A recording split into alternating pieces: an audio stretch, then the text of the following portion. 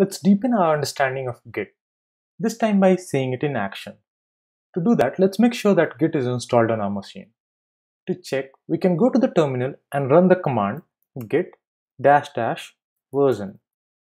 If Git is installed, it will tell us its version. If not, it will say git command not found.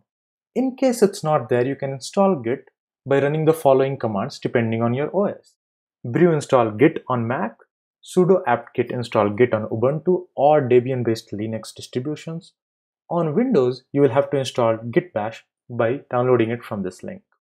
Once you have installed it, you will need to do one-time configuration, basically informing Git about our name and email which it will use to mark the commits.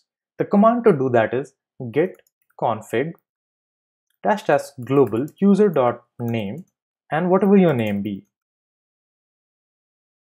Let's also inform Git about our email. Dash dash global here means this is a global setting applying to all Git enabled directories in this machine. We can check if it has been configured properly by running the command git config dash dash global dash l. Here we can see the email address and name that we passed has been configured. Alright, let's clear. In order to learn by example, Let's first make a new directory. Let's call it hello world. Now for Git to actually start tracking things in this folder, we'll have to initialize Git.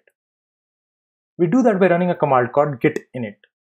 When we do that, we see that a .git folder has been created. This folder has a bunch of important files and folders that are responsible for tracking all changes. Git init initializes an empty repository. A Git enabled directory is also called a repository or in short a repo. Each change in a repository can be in untracked state or tracked state. Git status is the command we use to determine which changes are in which state. Let's run it. It says on branch master. Master is the default branch that Git makes. Branch is simply a movable pointer that points to one of the commits. As you keep making more commits, the branch moves to and points to the latest commit. We'll learn more about it later. Here, we have no commits. And right now, because we don't have any files, there's nothing to commit. Git status basically gives us the current state of affairs in this repo. Another useful command that gives us crucial information about our repo is called git log. Git log gives us the commit history of this repo. Since there are no commits made in this repo, there are no commits being reflected here. So let's go ahead and make a new file called index.txt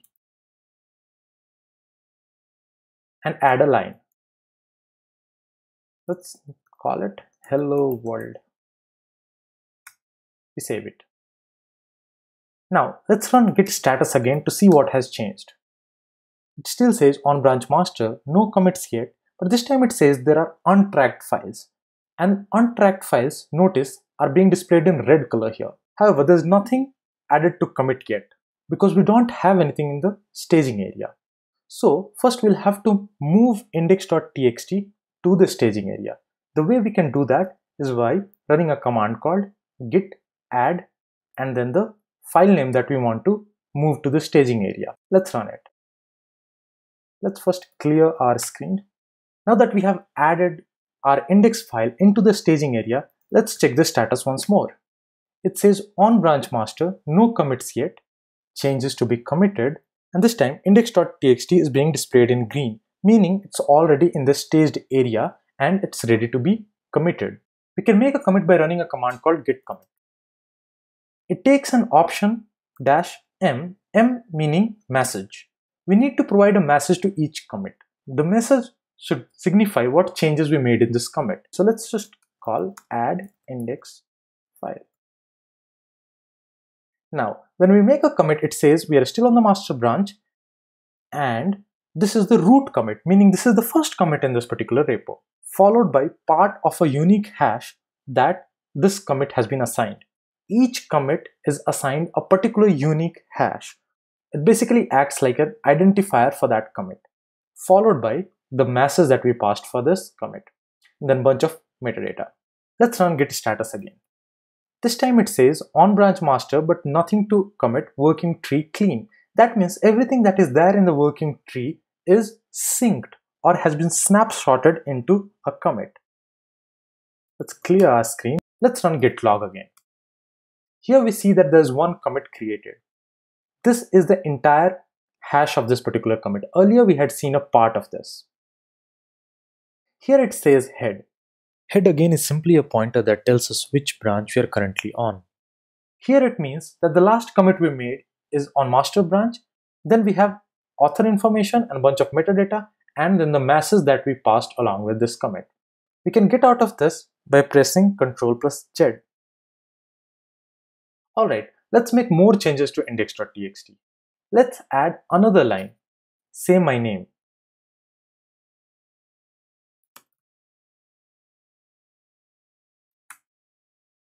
Now to commit it, we'll first add it to the staging area. So we do git add index.txt.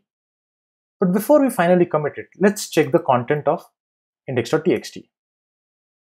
Oh, looks like I made a typo here. It should be am and not an. Let's fix that.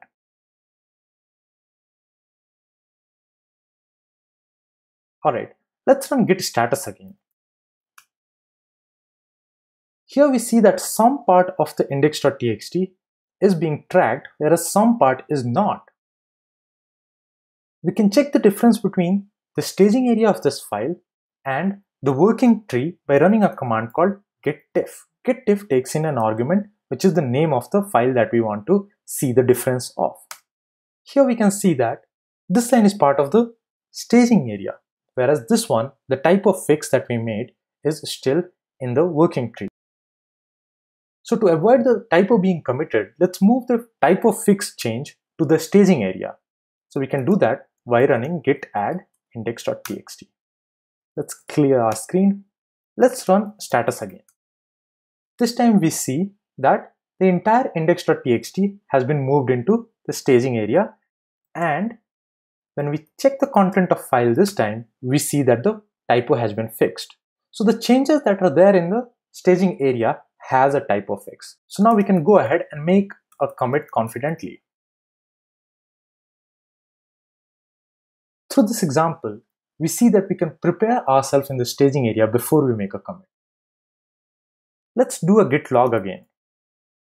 This time we see two commits. This one is the earlier commit, the first commit that we made, which had the message add index file. Now the second commit has another unique hash and now we see that head is updated. Head has moved from the first commit to the second commit, which is the latest commit that we have here. And so has master. Head, basic, head and master are basically on the same commit. Again, this has a bunch of metadata and the commit message that we added. Now I'm going to add another file called rdog.txt. I remember creating it before, so I'm just going to copy it from there. Let's just see the location of it. It's here, right here. So we can navigate into our hello world and copy r.txt into this particular folder. And we run ls again to see index.txt as well as rdog.txt. Also, I'm going to add another line in index.txt. This time I'm going to say, I love learning. Now I want to commit these. So I'm going to stage them first by running git add. Okay, let's clear screen. But let's see what I did here. We use dot instead of the file name if you want to stage all files that we have changed in the working tree. Okay, let me check out both the files before I make a comment. So I do git cat add index.txt. This looks good then I'm going to also read the content of rdog.txt. Here I realized that it would be better if I actually wrote a para about Pochi before committing this. So I don't want to move rdog.txt from staging to the next commit. But we know that everything in the staging area is added to the next commit. So can we move rdog.txt back to the working tree? Yes, Git gives us that control. The command to do that is git restore dash dash staged and the particular file that you want to move. So say rdog.txt. Now we run git status again. Here we see that rdog.txt has been moved back into the working tree whereas index.txt is still in the staged area. Okay, now I can commit the changes that I made to index.txt by simply running git add -m. This time I can say add more information about myself.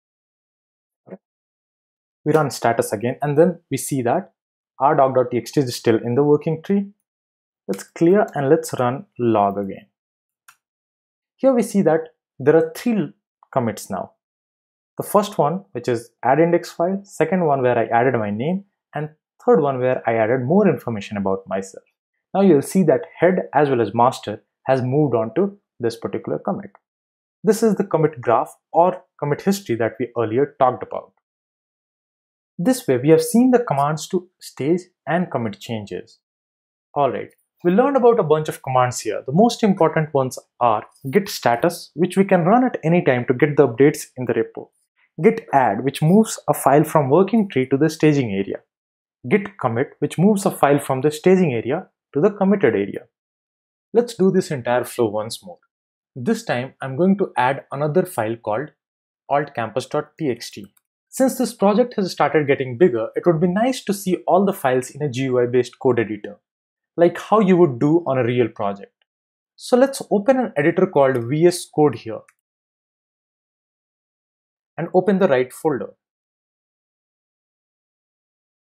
Alright, we see all our files here. I'm going to add about Alt Campus. Alt Campus is based in a beautiful hill station. Also, I'm going to add another line about our dog before I make the commit.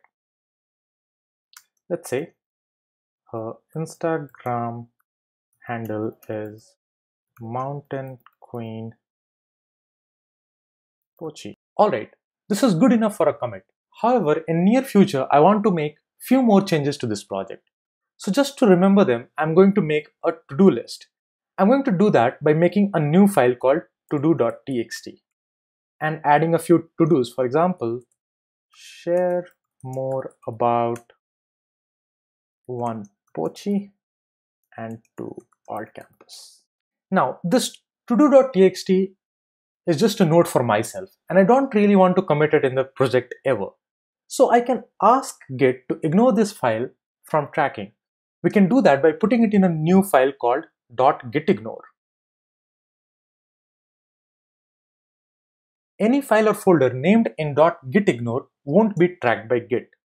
In real-world projects, we keep files like external packages, log files, etc. in gitignore. Alright, let's commit these changes. So first we'll do git status. Here we see we have changed three files. Notice that todo.txt is not part of the tracked files because todo.txt is being ignored by git. Now let's move it to the staging by doing git add tot. Let's run status again we see that all these three files have moved into staging. Let's commit it by doing git commit add about alt campus and Pochi's Instagram. Alright, we have made the commit. Let's clear it. Earlier we learned that Git makes it easy for us to go back in time and see the previous versions of the file. Well, let's see that in practice. First, let's do git log. Right now we are on the fourth commit and it has the latest changes. Let's try to go back and check the content of the project when we were on the second commit, where I hadn't added about myself, but only my name was present. We can do that by using the unique hash of that commit.